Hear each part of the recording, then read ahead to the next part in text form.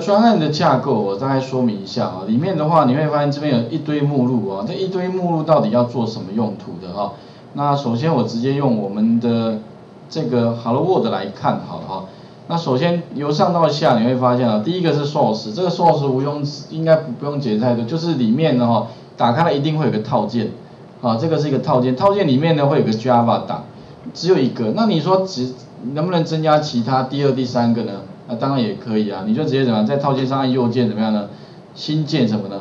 新建类别就好了，你就有第二个第二个 activity，哦，其实它就是一个 Java 档案啊，实际上就是一个类别哦。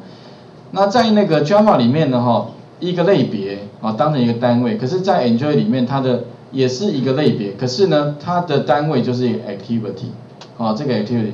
那这个 Activity 简单讲起来，就是做什么用途呢？其实就是控制那个画面上面的那一些动作，啊，比如说我们这个 Activity 里面写这这些程式要做什么？其实写这些程式主要就是要当使用者怎么样呢？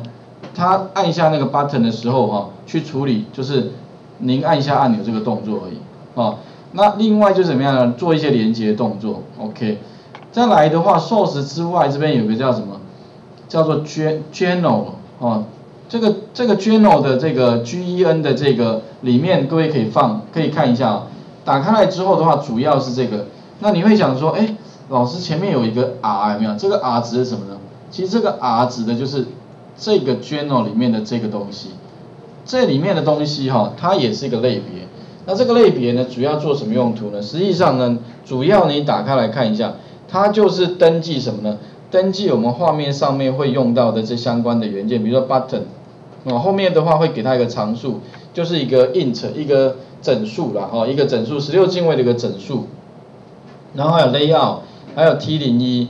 那这个部分你会想说，那这个地方怎么产生的？实际上特别注意哦，Enjoy 它自己产生的，所以呢哈，千万不要去跟动它，没事的话也不要打开它，好，甚至你可以把它当它存在，可是你不要去修改它。很多人讲说，哎，为什么 R 的东西不见了？那自己改一改，改一改，你看这这这个专案可能就毁掉了。为什么？因为它这里面的东西是自动产生、自动连接的，啊，千万没事不要乱改，只要你有。在画面上哈，给它一个新的元件，然后并且做 save 的动作，它就自动会写到这边来了，自动写入的，哦，OK，所以这里的话尽量哈，没事的话不要去变更它，哦，你大概知道说有这东西就可以了，把它关闭哈。那其他的话还有 Enjoy 的版本，这里面的话。